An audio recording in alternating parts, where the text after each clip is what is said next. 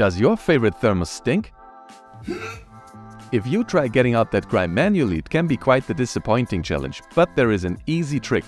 Fill her up with almost boiling water and just add a dishwasher tab. Unlike your usual dish soap, those detergents use enzymes that will actively eat away all residues overnight. But make sure not to get it on your hands as they happily dissolve your skin as well.